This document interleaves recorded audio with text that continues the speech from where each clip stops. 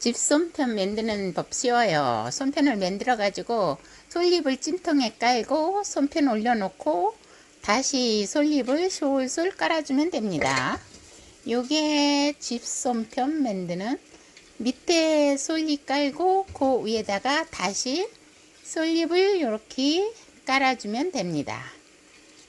손편 만들기 쉽죠? 집 손편 깨하고 밤 넣습니다. 속은